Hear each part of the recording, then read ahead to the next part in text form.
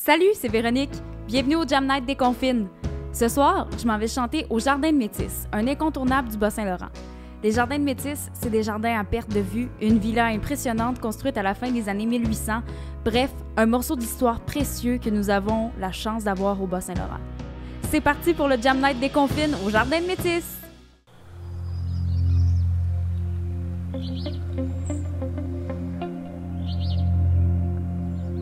Pendant 12 semaines, je t'ai présenté le Jam Night en direct de chez moi.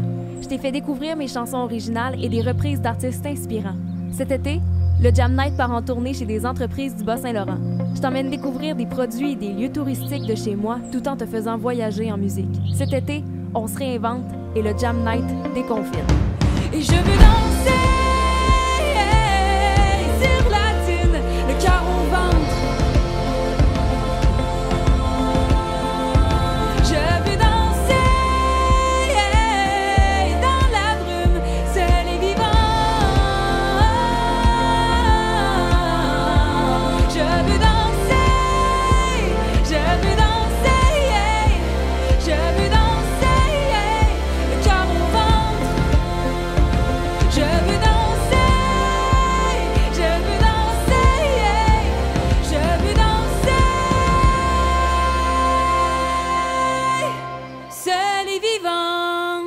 Cette chanson-là, ce que je trouve fou, c'est que euh, j'avais vraiment peur de la sortir parce que quand je l'ai écrite, en fait, j'en avais peur parce que c'était une chanson euh, à demi parlée, à demi chantée. Puis euh, ça m'avait vraiment été inspiré par l'imagerie des jardins de métis. C'est fou parce que j'étais venue l'été précédent à l'écriture de la chanson. J'étais venue faire une visite au jardin, puis j'étais toute seule, puis je me souviens à quel point j'avais trouvé ça paisible, j'étais calme, je, je, je m'étais vraiment sentie comme bien à ma place. Puis à ce moment-là, quand j'ai écrit la chanson, quelques mois plus tard, j'étais vraiment comme dans une espèce de tourbillon de travail, tourbillon de, de, tout. J'étais vraiment occupée. Puis on dirait que j'arrivais pas comme à me recentrer. Puis je m'imaginais juste, justement, dans, dans cette maison-là, dans la Villa Esteban, puis de me dire Oh mon Dieu, ok, je serais tellement bien ici, au Jardin Métis. Je serais tellement bien dans les, dans les jardins, juste à me promener dans le silence. Puis c'est ça qui m'a inspirée par un matin de juin. Toute l'imagerie, justement, du, jardin de métis, toute, l'imagerie de, fleurs, euh, euh, l'histoire d'Elsie Rufford aussi, ça m'a beaucoup inspirée dans mon album Soleil vivante. Puis quand j'ai écrit cette chanson-là, que je vais vous chanter, inquiétez-vous pas, je vais pas juste euh, parler. Quand j'ai écrit cette chanson-là, pour moi, on dirait que vu qu'il y avait comme l'imagerie des fleurs qui revenaient, je savais que ça allait terminer l'album. Puis je savais que ça allait comme justement symboliser la fin d'un parcours, symboliser la fin de Soleil vivante. Fait qu'aujourd'hui, ben, je vous la chante pour vous, par un matin de juin, euh, au Jardin de Métis. Comme quoi, tout est dans tout. Je, je, je l'ai dit depuis tantôt, tout est dans tout. Par un matin de juin.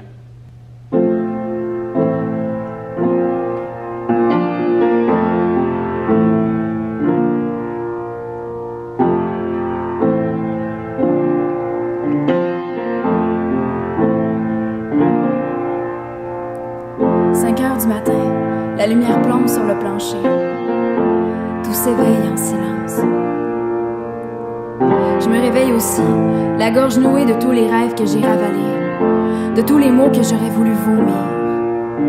En attendant la fin de semaine, le long congé, la fin de l'année. En attendant de rapailler le courage de dire non, la force de courir. J'ai construit un abri au creux de mes murs, mais j'étouffe encore ici. Et j'ai beau avoir le bonheur entre mes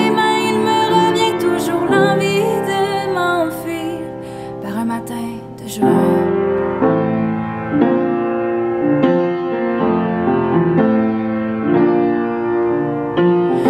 le café fume. Il gît sur la table pendant que je cueille les fleurs rebelles et sauvages qui poussent dans ma tête.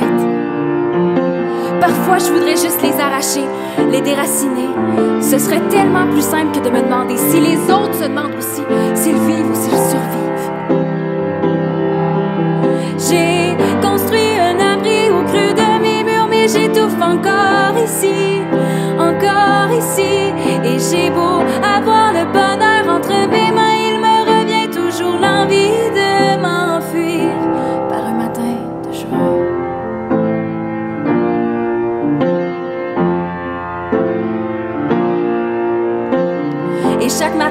Recommence.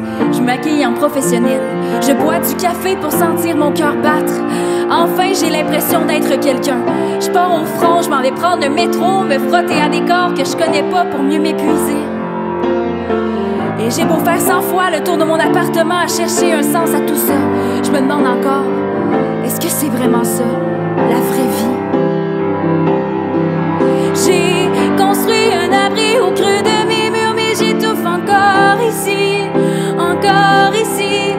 Et j'ai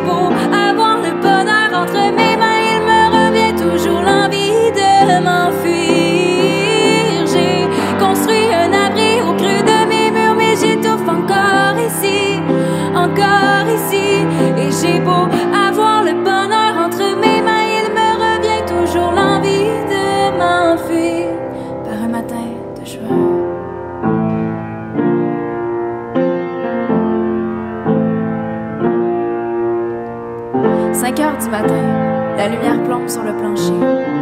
Je m'éveille paisiblement au creux de mes. Parfois, j'ai l'impression de comprendre. J'ai l'impression de comprendre que le jour s'ouvre à moi et que tout est à refaire. Au moins, tout est à refaire. Et j'irai cueillir mes fleurs. Les jardins de métis sont ouverts au public depuis 1962. On y compte près de 3000 espèces de plantes et plus d'une quinzaine de jardins. Le projet est l'œuvre d'Elsie Refford, une femme issue de la bourgeoisie anglophone montréalaise qui venait passer ses étés à Grand Métis. Chaque année, les Jardins de Métis présentent une exposition sur la vie d'Elsie Refford intitulée Elsie vue par. Les Jardins de Métis organisent aussi le Festival international de jardins où des designers de différents horizons proposent des installations éclatées et contemporaines. J'en parle avec Ananda Dubé-Gauthier, coordonnatrice aux événements, à l'éducation et à l'animation au Jardin de Métis. Pour réaliser l'entrevue, on s'est installé à l'extérieur de la Villa Esteban, l'un des plus beaux attraits des Jardins de Métis. Je t'avertis, on entend vraiment beaucoup le vent. On a essayé de modifier la qualité de l'audio pour que ce soit un peu mieux, sauf qu'on l'entend quand même beaucoup, fait que je te conseille de baisser ton son. Notre exposition permanente qui s'appelle euh, Elsie vue par. Mhm. Et c'est justement Elsie vue par euh, les gens euh, euh, qu'elle a côtoyés. Donc, c'est une exposition qui est présentée la- au deuxième étage de la Villa Esteban. Malheureusement, à cause des circonstances exceptionnelles cette année, c'est Mhm. pas possible de l'avoir. Mais euh, on a quand même deux expositions euh, ici à- au premier étage de la villa qu'on peut voir. Donc, on a TM Glass, une dame qui fait euh, de la photographie, qui a fait une des, des photos en fait avec des, des vases euh, de, de l'époque, qui datent de l'époque d'Elsie. Oh, wow. Euh, puis euh, avec une jardinière, Anne, elle a fait des arrangements floraux et elle a, elle a travaillé la photo pour que ce soit comme une peinture. Donc c'est une exposition temporaire qui s'appelle TN Glass. Wow! Puis aussi, si je me trompe pas, il y a quand même un coin des jardins qui, qui est réservé plus pour comme une exposition artistique annuelle. Euh, le Festival international, en fait, c'est c'est une sorte de, de- de concours aussi. Là. Donc, y a- il y a- on a un thème. Donc, cette année, le thème, c'est métissage. Et euh, les gens, en fait, euh, de partout dans le monde sont invités, ben, des, des, euh, je peux dire, des concepteurs, en fait, Mhm. sont invités à envoyer leur concept de jardin. Il y a un jury qui choisit euh, les jardins. Et à chaque année, il y a, je pense, 3 à 5 jardins qui sont sélectionnés. Là. Cette année, on peut aller les découvrir sur le thème du métissage. Oh, wow! Il y a- je dirais que les jardins de métis, c'est vraiment pour tous les goûts. OK. Donc, euh, que tu aimes les fleurs ou les jardins traditionnels ou que tu aimes euh, le- les musées ou euh, des, choses qui sont plus modernes, euh, je pense que tout le monde en a pour, pour son âge. Cette semaine, pour la vieille chanson, je revisite une de mes chansons du secondaire. Parce que moi, quand j'étais au secondaire, j'écrivais en anglais, mesdames et messieurs. Et là, aujourd'hui, on est à Grand Métis. Grand Métis et Métis-sur-Mer sont des places où il y a quand même beaucoup d'anglophones. Elsie Rufford était aussi anglophone. Donc là, je me suis dit, ben là, concept, je vais faire une, une vieille chanson de moi en anglais. Et cette chanson-là, je m'en fais encore parler aujourd'hui parce que euh, j'étais allée l'enregistrer en studio. C'était une de mes premières expériences en studio, c'était avec Yann Lévesque. On s'en va enregistrer ça en studio, puis après ça, on envoie ça à la radio communautaire de Rimouski, alias CKMN. Et encore aujourd'hui, parfois à des heures très tardives de la nuit, euh, cette chanson-là tourne encore. Et je trouve ça vraiment très drôle que malgré le fait que ça doit faire 12 ans que j'ai 10, 12 ans, en tout cas, que j'ai enregistré cette chanson-là, ça me suit encore. Donc, pour vous aujourd'hui, My Superman.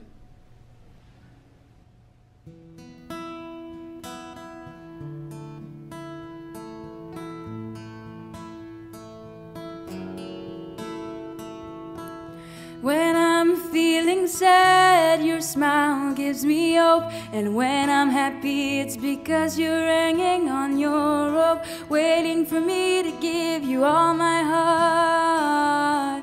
And today I really need to say all I need is someone who's catching me back when I'm falling for you, someone who gives me butterflies. Mm, But whatever we'll go through, I'll be waiting for you, and that someone will always be you.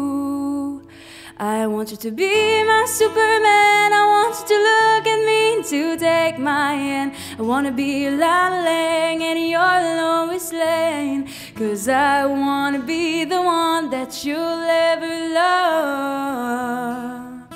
And when I'll search for Mr. Right, I know he will be right by my side. But one question still remains Do you wanna be my Superman?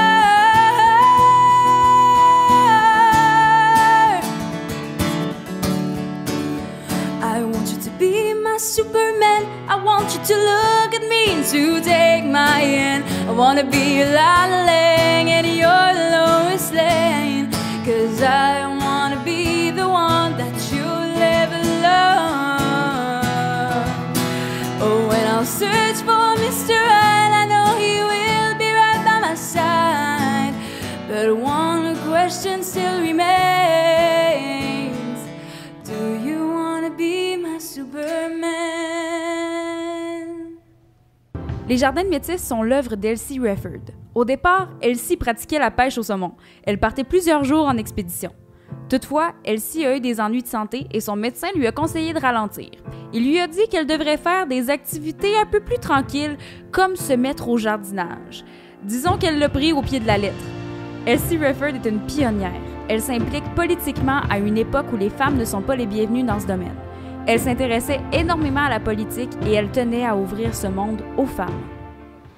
Ben, il y a plusieurs choses par rapport à la vision d'Elsie. D'abord, euh, on la connaît pour sa vision des jardins. Donc, euh, euh, d'abord, elle a créé un jardin qui est dans, dans un, un climat très difficile, un climat plutôt euh, nordique. On, on pense tout de suite au pavot bleu euh, de l'Himalaya, qui est un emblème des jardins, en fait. Donc, c'est- ce qui est extraordinaire, c'est qu'elle avait une vision d'un jardin, puis elle, elle a vraiment travaillé très, très fort pour atteindre cette vision-là en tant que telle. Elle avait une facette qui était très politique. OK. Donc, euh, elle écrivait beaucoup à des hommes importants euh, politiquement, comme Lord Grey. OK. Euh, évidemment, euh, elle, elle se disait, elle, il y avait des, des cercles d'hommes politiques, puis c'était seulement pour les hommes. Mhm. Puis elle, elle a décidé, en fait, de, de faire un cercle de femmes qui s'intéressaient à la politique, qui s'intéressaient euh, à la place de la femme dans la société. Donc, pour euh, tout ce qui était politique, je trouve qu'elle a emmené les femmes euh, un peu plus loin. Euh, puis c'est, quelque chose qu'on peut découvrir dans l'exposition virtuelle. On a une exposition virtuelle sur le site des Jardins Métis qui présente en fait les multifacettes d'Elsie. La prochaine chanson s'appelle Je m'en fous. Euh, c'est une chanson que j'ai écrite dans un moment où ce que euh, tout le monde aurait pu dire que ma vie euh, était un peu sans dessus dessous. Tout changeait dans l'espace de deux semaines. Puis pourtant moi j'étais la plus heureuse que j'ai jamais été à ce moment-là. Fait que je trouvais ça beau de capturer ce moment-là avec une chanson. Je suis vraiment fière de, celle-là. Ça s'appelle Je m'en fous parce qu'on est bien ici en plus. Fait que tu sais, écoutez, je je pourrais pas être plus heureuse que, que là.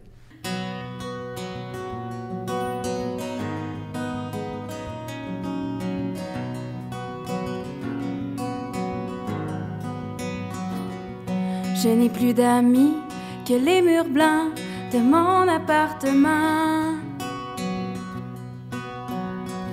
Je m'en fous. Je n'ai plus envie de jouer leur jeu, de leur parler de moi pour qu'ils ne m'écoutent pas. Je m'en fous. Qu'ils disent qu'on ne me voit plus, qu'ils pensent que j'ai perdu. Ils ne connaissent pas le bonheur de tes bras. Eh, eh, eh,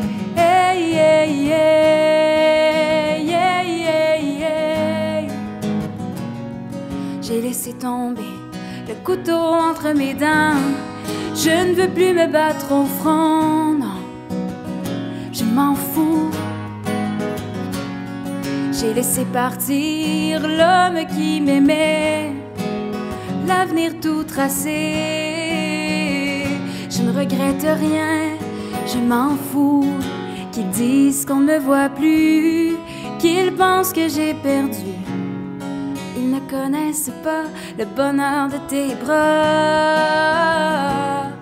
Qu'ils disent qu'on ne me voit plus, je jure, je n'ai rien perdu. Mais je garde pour moi le bonheur de tes bras. Eh, eh, eh,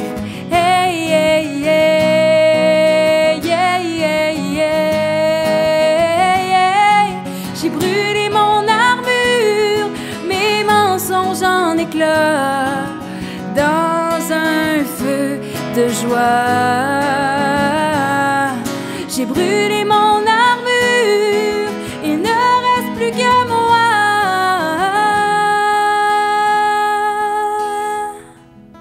Je ne regrette rien.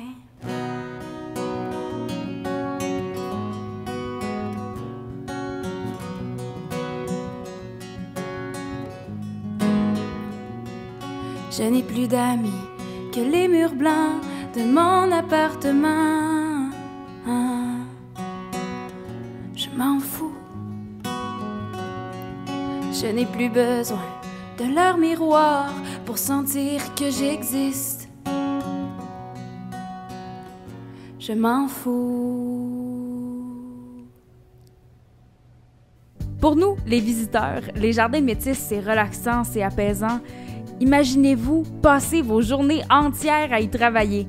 J'ai jasé avec Ananda de son expérience en tant qu'employée des jardins de métis.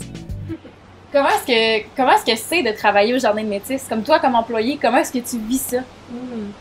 Euh, travailler au jardin de métis, c'est, c'est comme un. Je dirais que c'est un défi quotidien dans le sens que c'est tellement grand, puis on, on a beaucoup de projets, il y a beaucoup d'ampleur, euh, mais c'est ce qui fait qu'on est challengé euh, tous les jours. Euh, c'est, sûr qu'on essaie de, de donner un service à la, clientèle, à la clientèle qui est toujours à l'image des jardins, euh, qui représente en fait euh, qu'est-ce que les gens peuvent explorer ici, qu'est-ce que les jardins apportent. On, on essaye aussi d'émerveiller les gens, c'est une de nos missions, émerveiller les gens, les ressourcer. Donc euh, au quotidien, c'est bien quand, quand on peut avoir des brides de ça aussi, être émerveillé, passer dans, dans l'allée royale, puis euh, voir les lys qui sont en fleurs euh, cette journée-là, puis pouvoir s'arrêter, faire comme ah, tu sais, je sais pas, ça, ça apporte un sentiment euh, quand même de bien-être qui, qui, fait qu'on contribue à quelque chose euh, euh, de plus grand que soi en tant que tel.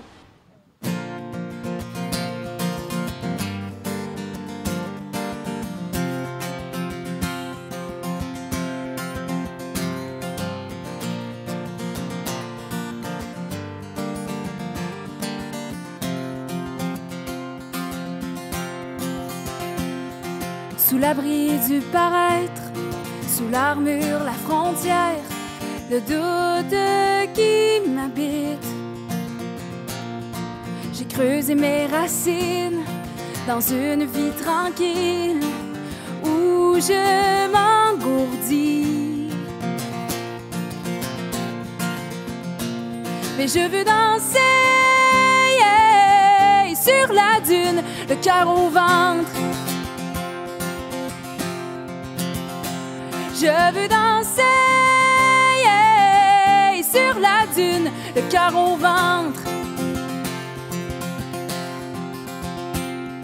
sous l'abri du paraître, sous la force, la tempête, le doute qui m'effrite.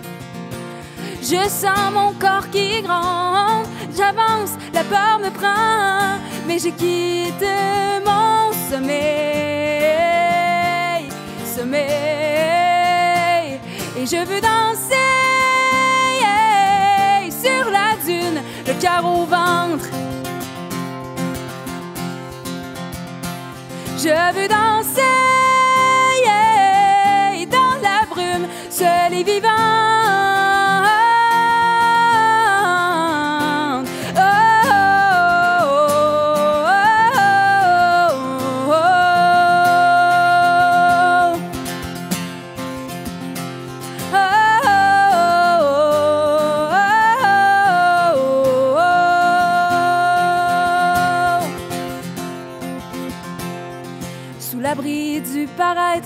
sous mes blessures, mes colères, je me pardonne en silence. J'avance, je suis en paix, même sans savoir où je vais, dans ce jour qui commence. Je me lance et je veux danser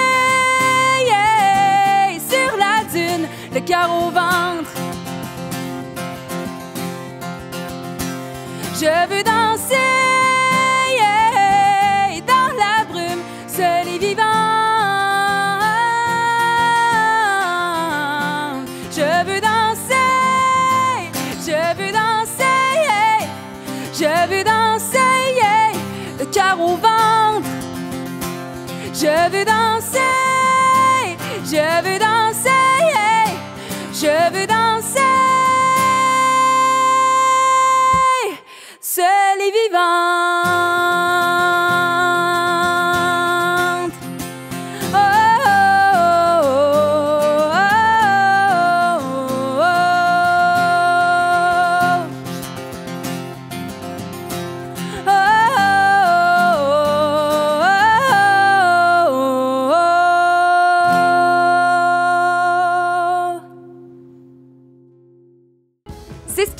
Le Jam Night des confines de cette semaine. Merci beaucoup d'avoir été avec moi ce soir. J'espère que tu as passé une belle soirée en ma compagnie. Un grand merci aussi à toute l'équipe des Jardins de Métis et à Ananda avec qui j'ai fait l'entrevue. Si tu savais pas, les Jardins de Métis sont un organisme à but non lucratif. Ils dépendent énormément du grand public pour réinvestir dans l'entretien des jardins. C'est le temps d'aller les visiter et de les encourager. Si tu peux pas te déplacer, c'est possible de soutenir les Jardins de Métis en leur faisant un don sur leur site internet. Merci encore d'avoir été avec moi. On se voit la semaine prochaine pour un prochain épisode du Jam Night des Confines. Passe une belle semaine.